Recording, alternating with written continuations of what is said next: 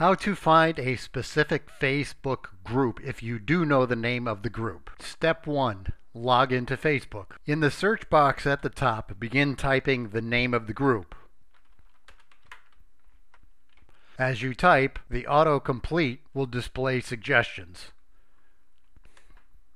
When you see the group that you're looking for, click on it. To the right near the top, you'll see the button Join Group. Click that if you want to join the group. Some groups approve you automatically and some groups require approval before you become a member. If you decide you want to cancel your request to join that group, just hover your mouse over the button and click Cancel Request.